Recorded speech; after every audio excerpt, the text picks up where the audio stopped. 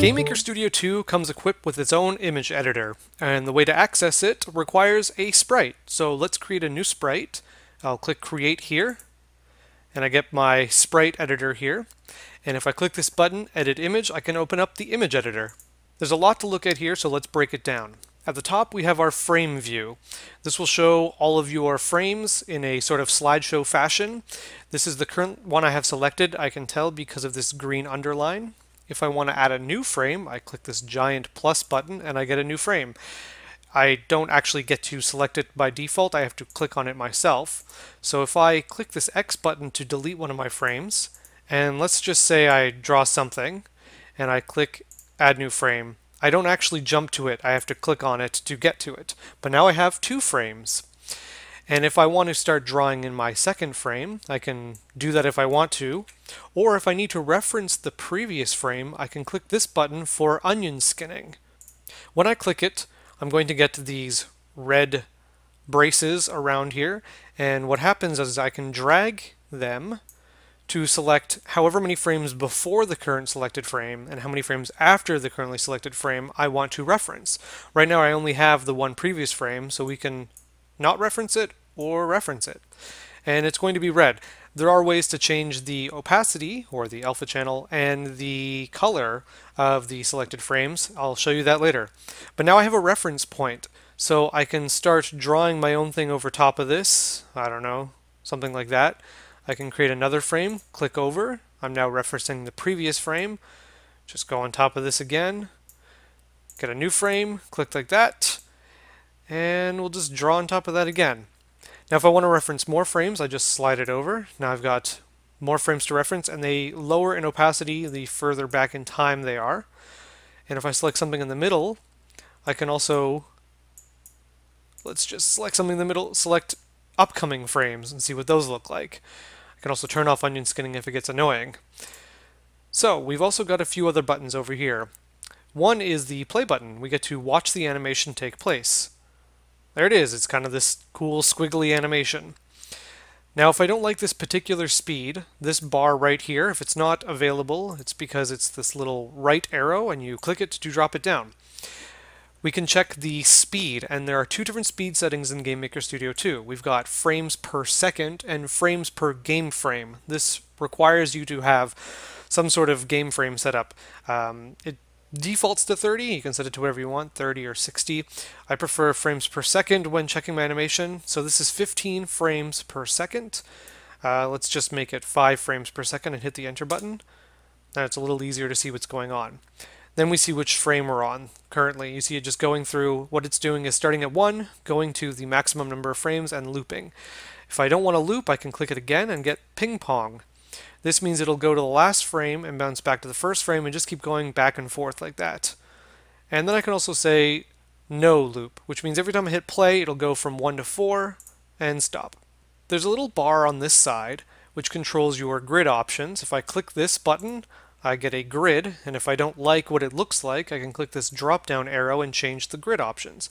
I can change the color of the grid from these predefined buttons right here.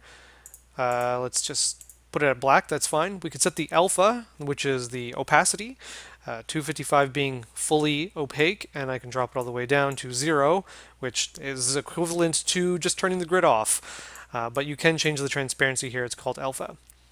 We can decide how many units in pixels are on the x-axis and how many on the y. Right now it's 16 by 16, uh, but we can change that to whatever we want. 8 by 8, one by one. Does also also doesn't have to be symmetrical like that. It can be off, and we can make rectangles instead of perfect squares.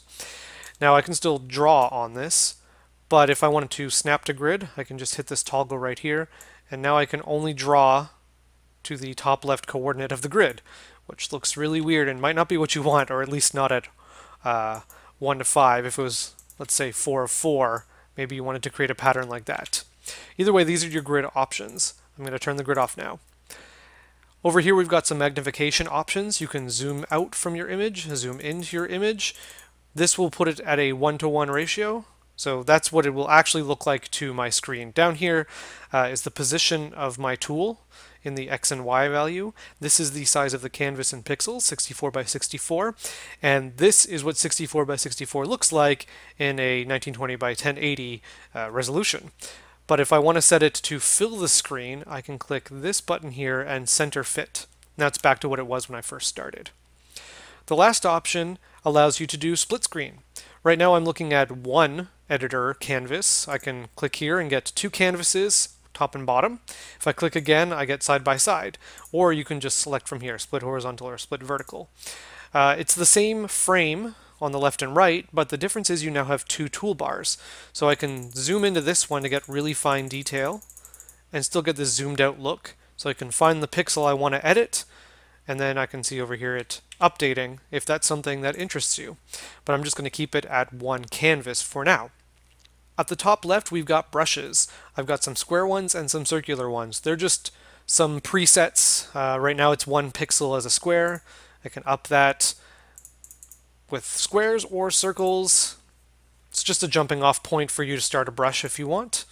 And as I select these different brushes, uh, I can change the options up here. I can set the size, so right now it's one pixel. I can put it up to 48 by 48, which is very large and unnecessary at the moment. I can also click this smoothing option, which interpolates and blends out, uh, which of course to a square looks really dumb, but uh, if it were something like a small circle, there we go, we get kind of this anti-aliasing look, and uh, it looks a little nicer, or you can keep it hard pixels if your game is more based on pixels. Here we have our color window. These are a whole bunch of preset colors uh, that are considered like a palette. Um, the reason it's considered a palette I'll get into in a moment, but if I wanted to change uh, my draw tool that I've got selected right now, this is my paintbrush tool, I can just click one of these colors. Let's go with this color right here. And now I have assigned it to my left click. Over here you can see it. Uh, I can also right click the color to assign it to right click. So you're allowed two different colors denoted here on the left and right. You can add it to left click or right click. I don't want those on there right now, so I'm going to just Control Z and get rid of them. This is your most recently used color, so every time I click something, it'll just show up here. It's kind of handy to be like, oh, what was that last color I used? It's right here. So it's just going chronologically over to the right. So most recent to least recent. Now I can change these colors if I want. I can, of course, click on one of these boxes and get this color window. I can assign the red, green, and blue values right here just with the uh, slider. I can uh, pick whatever color I want like that. I can set the alpha channel right here, the opacity. Or if I want to use hue, saturation, and value, I've got that option as well. Also, there is a hex editor if you know how to use hex code for color. These are all available for you for changing your color. You can also pick one of these basic colors. We've got our grayscale right here and some simple primary colors. And if you make a new color that you think is pretty cool, you can hit Save New Color and it'll add it to a custom palette down here. So this is the color we started with and this is the color that we're going to get. And if I hit OK, this is our new color. Now I can also change one of these colors in the palette. All I gotta do is double click. So this yellow, I'm gonna double click it and let's just make it this disgusting brown. and there we go, we now have this dark brown in the palette. Now, why does this matter? Well, if I had more than one sprite, let's add an existing sprite. This is Pitfall Harry from Super Pitfall for NES. Now, if I go into his image editor, he has the default palette again. So that yellow that I turned to a disgusting brown is still yellow. Now, what I can do is, let's say I'm working with this version of Harry, and I set up all my colors the way I like them, and now I want to go back to this sprite, and I want the colors I've changed in this one. Well, this drop down right here, I can use to import colors from a sprite or copy colors from a sprite. So let's say I wanted that yellow back. I can import from Pitfall Harry, and there we go. This would change all of the colors here to whatever is in Pitfall Harry's palette. Really great if you set all these colors to what you like, you draw your sprite, and then you want to start a new sprite. Well, that's going to go back to default, but you can always import the colors you've changed and then continue working.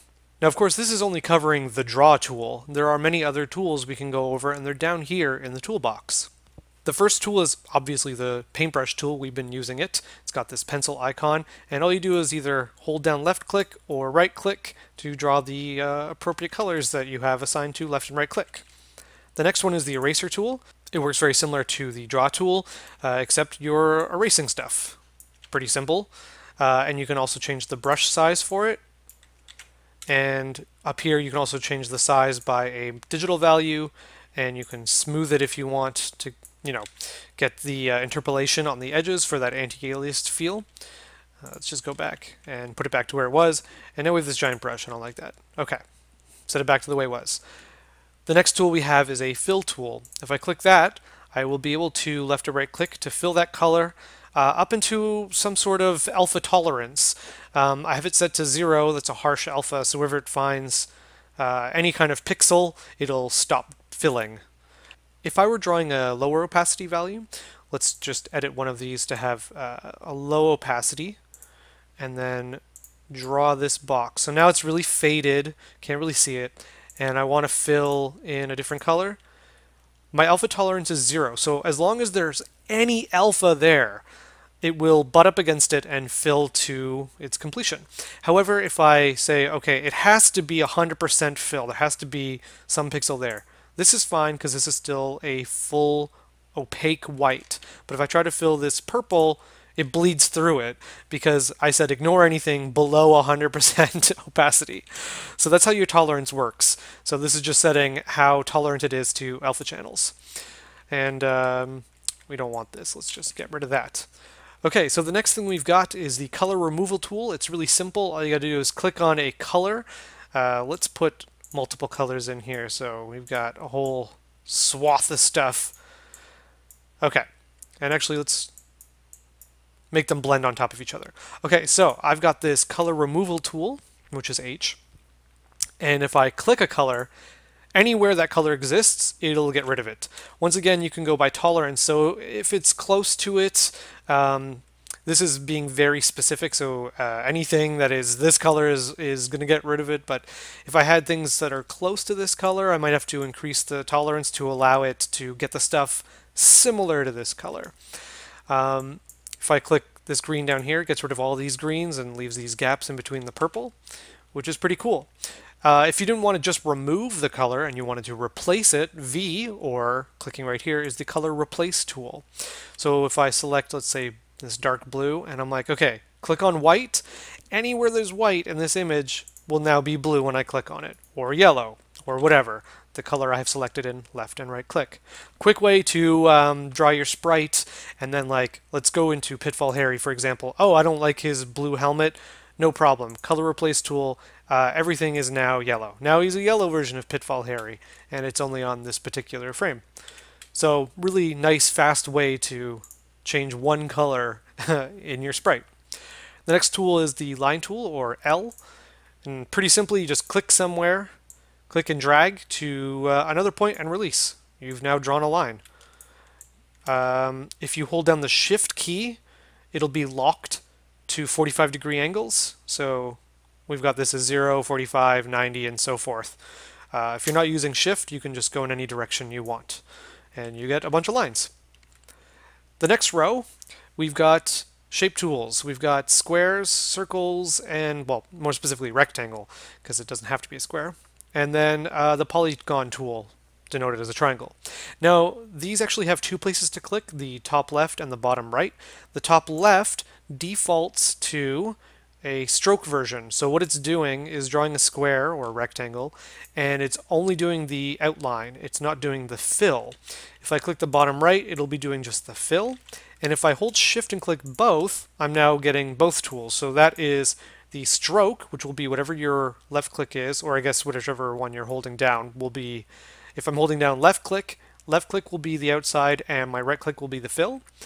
Alternatively, if I'm holding down right click to draw the rectangle, the right click color will be the stroke and the left click color will be the fill. Now, of course, if that's too weird to do, you can always just select up here stroke, fill, or both. Whatever you need to do.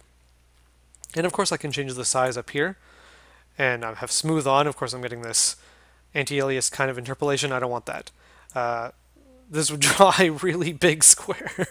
the stroke is ridiculous right now, so if I just made it something a little more manageable, like 3, then we've got a, there we go, my stroke is now 3 pixels uh, in, in width, and then it's filling the inside. And I just made a big mess of this, so uh, I'm just going to delete it and start a completely fresh frame.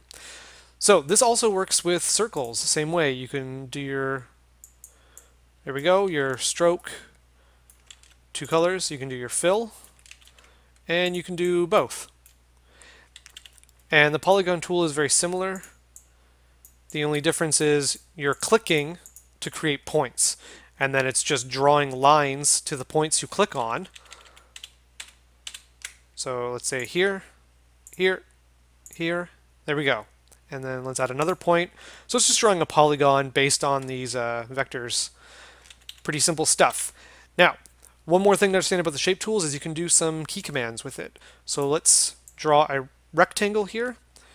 And what we can do is draw it at any ratio we want. Pretty nice. But if we want to constrain the proportions, we can hold down the Alt key, and this will expand from the center of the object rather than uh, where I clicked, which will become the top left. So I can expand from center. And if I want to constrain proportions, as I mentioned, I'll hold down Shift and shift will constrain the proportions. So let's do both, and I'll expand from center, and it'll be perfectly one-to-one, -one, so that means the width and height will be the exact same uh, length. But you can always draw any way you want. This will work for any of the shapes, so any way I want it, from center, and then that's Alt, and then holding down Shift will constrain proportions. This will also be denoted down here for any tool. Click and drag to draw an ellipse shift for a circle. So if I went to square, this will tell you that I'm just going to draw a rectangle, but if I'm holding down shift, it'll be a perfect square. And the polygon tool just says enter to commit. So once I've drawn my shape and I'm done and happy, I can just hit enter and I've got my shape. But I don't want any of this. Let's just delete it and move on to the next tool, which is the spline tool or arc tool, which is the A key. Uh, similar to the line tool or, or polygon tool, what you're doing is clicking down in a point, and then it's green to show that we are on that point, and then you can draw out these two kind of levers to create a uh, Bezier curve. So like that, we can create curves, or a spline, or an arc, or whatever terminology you want to use. And that's your way of getting um, whatever curvy kind of look you need and then you can hit enter to commit your changes, and there you go. You've, you've drawn an arc. Then we've got our text editor. Um, by the way, all of the tools will always appear up here. If you need any uh, extra controls, you got your iterations and size for the spline. For text, this is the most important up here because you want to pick your typeface or font. Uh, I don't know what to pick. Doesn't really matter. Let's go with Arial. And then I've got all the different uh, typeface options, the styles like bold, italic, light, semi-bold, whatever, the point size, and whether or not it should be anti-aliased, which is like interpolated like I mentioned before. Uh, keep in mind you have to set these settings before you click where you want to type, because if I start typing and then I click up here to change it off of anti-alias, you'll see that it committed these changes and my cursor is gone. So if I click again, I gotta I gotta reset everything and click again. Um, so it's changing this, but then I can't keep typing. If I try to type, it'll just tell me to commit the changes. So it's unfortunate that once you start messing with with uh, any of these options, it kind of solidifies what you've typed. But still, nice way to just get some type in here. And then of course, uh, left and right click are the colors you're going to apply to it. So if I right click in, I'm using my right click color. If I left click in, then I'm using, whoops, my left click color. So our next row is the color picker tool. So if I have some sort of color, and then another color, and another color, and let's just pick two colors that are not on the board here on my canvas. Uh, if I want to take these colors again, really simply click the eyedropper tool or color picker, which is O, and then just click either left or right, and you'll just suck it up into your left and right click. Really simple. The next one is really important. It's your rectangular selection tool, or S. Click that or press S, and then just select an area and then you can do stuff with it. Uh, you can move your selection, you can delete your selection. Uh, if you're done, you can hit escape. Um, you can also do some things down here. Control to add to selection, Alt to subtract from selection. So in this case, um, my selection is done, but if I wanted to add some more stuff, I can hold down Control, and there we go, add more to the region, or hold Alt and remove from the region. Now, this might be a little too blocky for you, a little too big, which is fine. I'll hit escape. That's the button to cancel your selection. I can go on to the paint selection tool. This paints using a brush. So if you don't want to use a giant uh, rectangle, you can just just go like this and start painting just the areas you want. Once again, if I just click somewhere else, it deletes that selection, starts a new one. But if I want to add more, I hold Control, I add more to my selection, uh, if I don't want this stuff, hold Alt and just click where I don't want stuff. And there. So now I've selected just this, and once again I can move it somewhere. Um, I can copy and paste. The most interesting part about copying and pasting is copying turns it into a brush. So now I've got this as a brush. I can now paint it on things or post it on things, whatever I'm, i want to do. Uh, if I try to paste it, it just creates a new brush. Now, I didn't go over these custom brushes uh, before, but I will now. You can hit the delete key when they're selected and get rid of your custom brushes, and this is where they appear. Now, the cool thing is, um, you should be able to go somewhere else, like another sprite, or even to an external program outside of GameMaker, make your selection, copy it as a brush, and now I can go to my other sprite, and I still have it as a brush. So I can paste that in here. Uh, they're two different sizes. That's canvas sizes. This is 32 by 32, and this one's 64 by 64, which is why they're different sizes. But there we go. I can paint and make this really disgusting mess. I'm just going to make a new frame again, and then if I don't like this brush, I don't want it here, I can just hit the delete key and get rid of it. And the next one is the magic wand tool. For that we need a whole bunch of colors. So let's go to the fill tool. We'll fill that. Then we'll go to our draw tool. Actually, let's make this a bigger brush. Okay, and then uh, let's lower the opacity to it and paint somewhere else. So we got the kind of this blend between the two colors. Now the reason I wanted to do that is if I go to Magic Wand, this will select whatever color you click on in, in your um, canvas. So if I click here, it's going to select this color. It didn't select in here because it's not exactly the same color. It's close, but not the same. So for that, I can just increase the tolerance and be like, okay, be more accepting of the things I clicked on. So you see, I get to a certain point where the selection will actually bleed into this. Let's just start increasing. There it is at there we go, 12. Now it's selected that. So if you have very similar colors and you want to select more than just one harsh value, just increase the tolerance. For instance, if I increase this a lot, I'll get the blue as well. You probably saw that when I was... There we go. Now I got the blue. So yeah, it, it will just increase uh, your selection availability by increasing the tolerance. But if I just want one harsh color, just zero is fine. Uh, I can also select color only. I believe this has to do with uh, alphas. And then uh, your contiguous mode. So this one is always fun. Let's say, let's pick up this color into my left click. Let's paint it, boop, inside the blue. Now, if I use Magic Wand over here, contiguous mode will just look pixel to pixel, whatever's next to it. It's nearby. Uh, so it didn't select this color, even though it is the exact same color. And for that, if you want to select every single color that looks like that, turn off contiguous mode. There we go. Now we've got this selected. Although, Maybe to you that's the same as just using the color deletion or color replace tool, if that's what you're trying to do. Uh, but if not, you can use it this way and then do all of your transform, like move it around. Um, and that is that tool. Now our final row, we've got some ways of altering brushes. So we can rotate the currently selected brush. Now for that, I've, I've just got the regular brush. That's not very interesting. But if we go back to Harry, and let's select him and hit Control C to create a brush of him and go back. Now what we can do is um, rotate him with this rotate one. So what it does is it takes the brush, puts it in here, And now I can start rotating by clicking and dragging left or right. And of course, you get all this jagged anti-alias look. This is the interpolation. Um, if I turn that off, it'll be a really disgusting hard look, but if you're making a pixel perfect game, that might be what you need.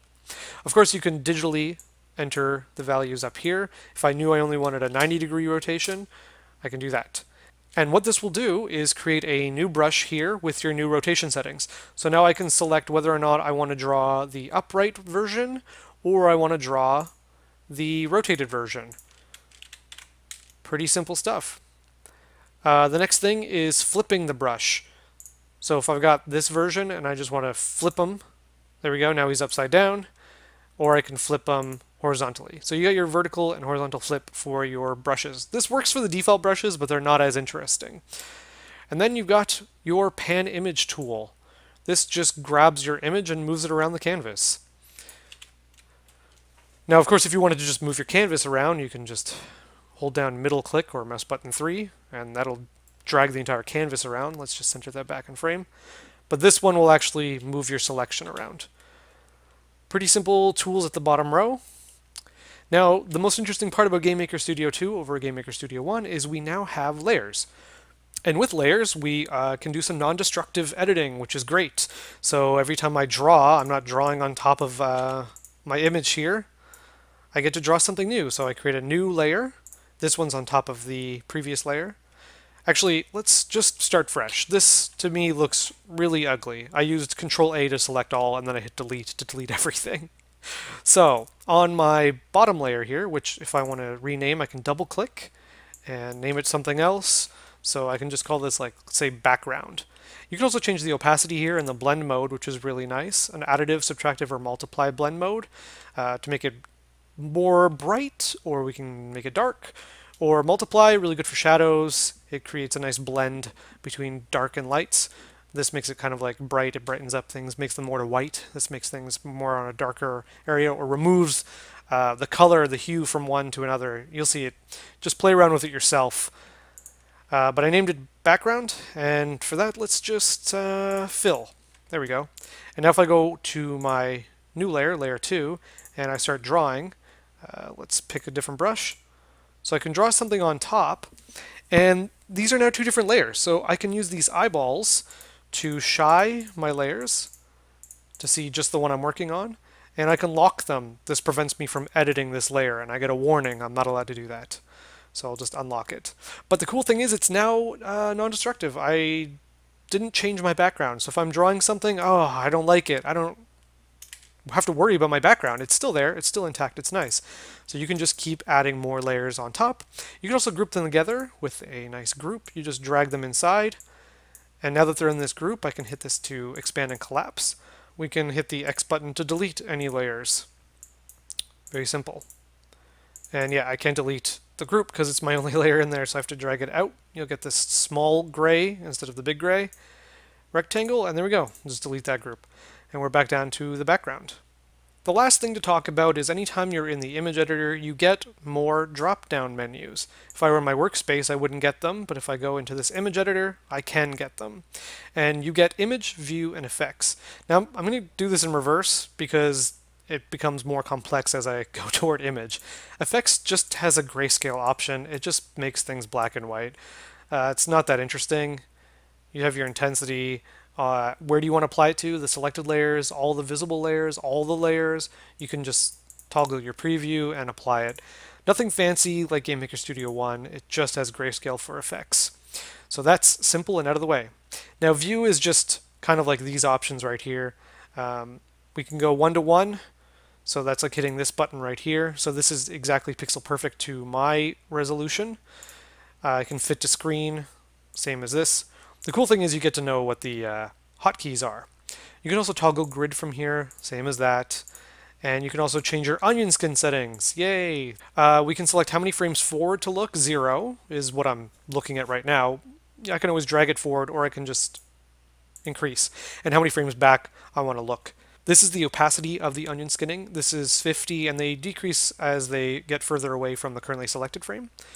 So I can set that to something else or manually type in a number. And then you can just have the color you want to have represent the onion skinning. Uh, whatever is good for you. Uh, red is decent. Uh, I can use black. There we go. Uh, whatever you want, really. Nothing fancy. Uh, red is probably the best for me at the moment, so I will keep it and just close that.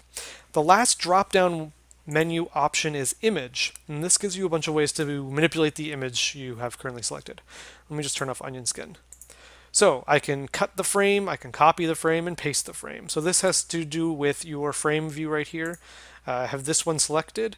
I can cut it, I can paste it. I can also grab and drag it somewhere else which is nice. You can reorder your frames. You can also uh, control click multiple frames and then they're all linked together so I can delete all of them or move all of them somewhere or whatever I need to do. The next one is select all. This selects all the pixels in your canvas. Pretty simple, control A. You can cancel your selection. There's no hotkey, but escape does work. If you hit escape, it'll cancel your selection. You can also invert your selection. So if I select this area and then invert all I'm doing is now selecting the parts I didn't select, uh, otherwise known as inverting the selection.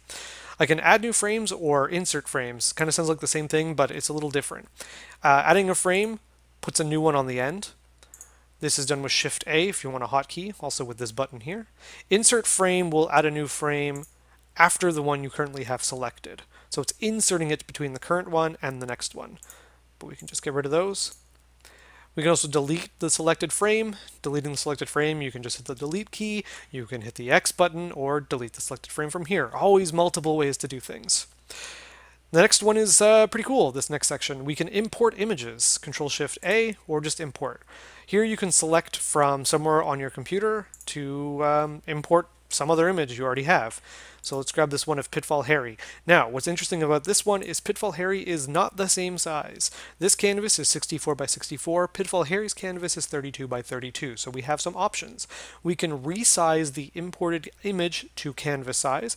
This will expand uh, his size to fit 64 by 64, effectively doubling his size, or we can resize our current canvas uh, to the imported one. So if I said this, uh, my canvas will shrink down to the 32 by 32, or I'm saying, okay, we'll increase it to this one. So it just depends on which way you want to do it. We can also decide how we want it to contract or expand uh, to the center of the canvas, toward the top left, towards the bottom right, however you want to do it. So let's just say center. So this will expand or contract to the center. And we can also scale it or we can crop it. Just depends. So this was cropping, this was scaling, and then we get our interpolation. We can have no interpolation. This makes it pixel perfect, or we can use linear interpolation. This adds a little bit of anti-aliasing as things scale. So let's see what that looks like. Let's uh, resize the imported image to the canvas. This will make uh, Pitfall Harry bigger. And there we go. And he looks like a blurry mess because he's being interpolated. I can do Control Z to undo that.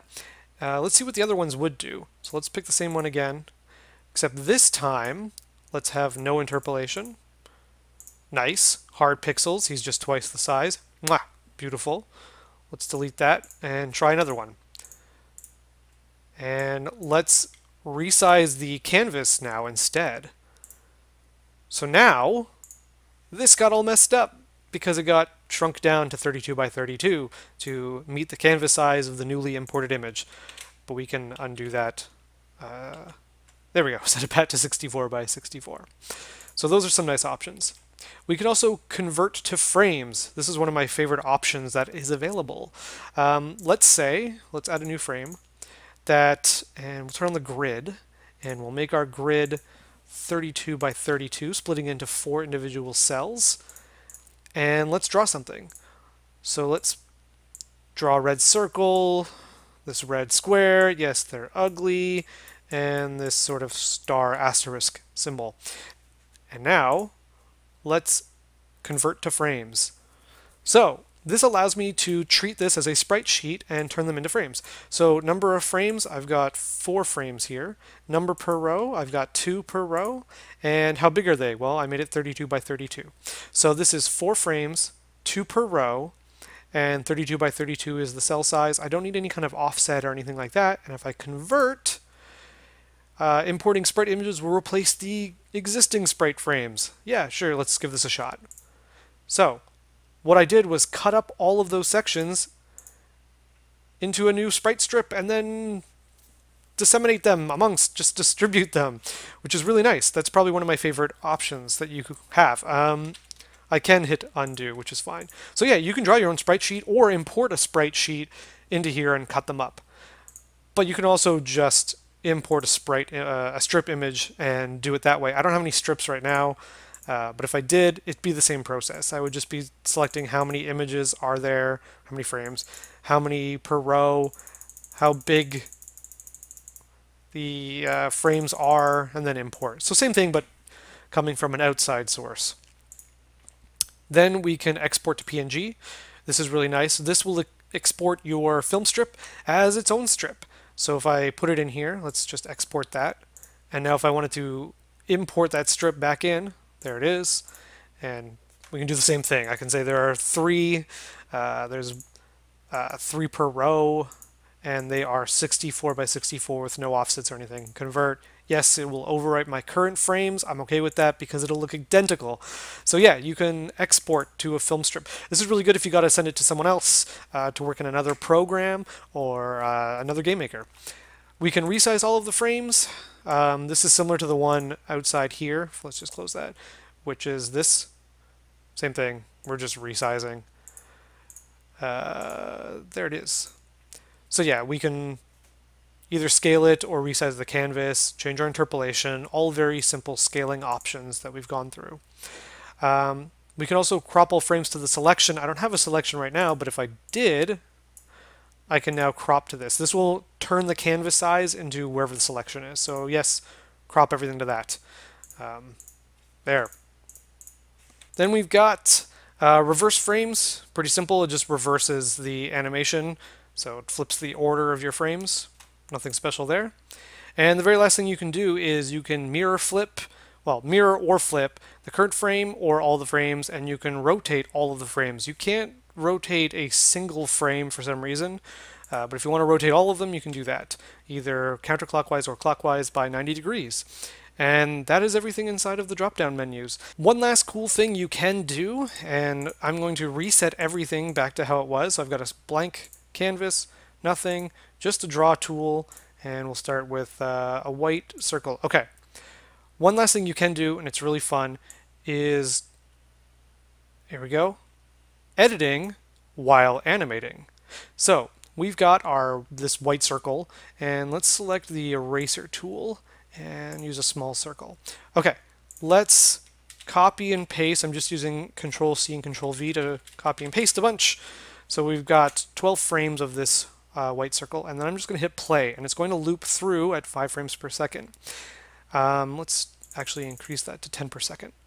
Actually, 12 a second. There we go. So it's going to go take one second to loop through all of these frames. You get to edit while animating. So while this is looping through its stuff, I'm still allowed to do things. So let's just kind of erase some stuff. There we go. So I just used the eraser tool while it was animating through them. And there we go.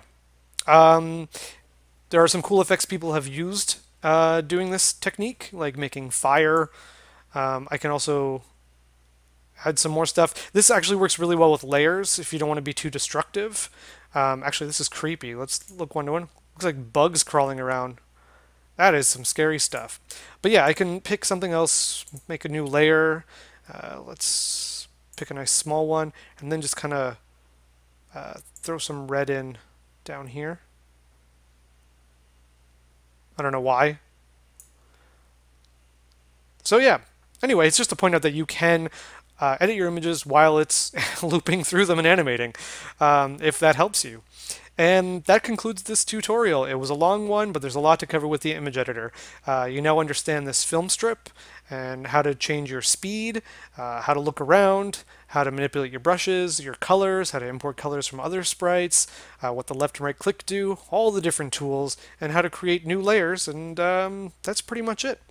So, thanks for learning.